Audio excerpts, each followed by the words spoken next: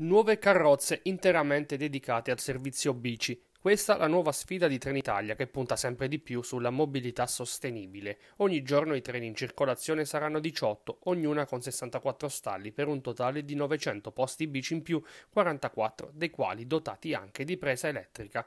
Le tratte coperte saranno quelle sulla Sulmona Ancona, Pescara Termoli, Pescara Teramo e Pescara Sulmona.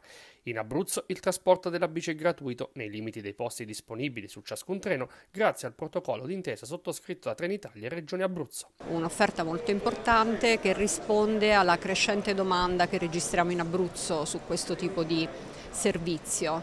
L'anno scorso abbiamo trasportato 12.000 passeggeri, i dati del primo semestre di quest'anno ci dicono già che sono in aumento di oltre il 40%. Al taglio del nastro presente anche Ermanno Russo, responsabile commerciale e direzione business regionale di Trenitalia. Positivi i numeri del bilancio intermedio della Trenitalia Summer Experience in Abruzzo, più 27% per i trabocchi line e più 31% sull'Adriatica Nord rispetto al 2021. Che cos'è la Summer Experience? Sono, è un aumento delle destinazioni raggiungiamo tutte le mete turistiche più ricercate, quando non lo facciamo da soli con il treno perché non c'è la linea, lo facciamo con altri operatori del trasporto, il bus eh, o la nave addirittura in altri posti.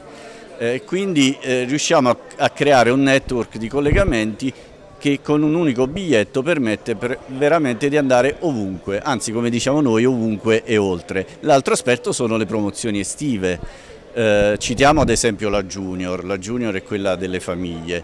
Bene, per tutta l'estate fino a fine settembre eh, i ragazzi fino a 15 anni semplicemente in compagnia di un adulto che viaggia non pagano e quindi questo ci sembra decisamente eh, un aiuto che possiamo fare eh, alla società italiana in questo momento, soprattutto di caro benzina.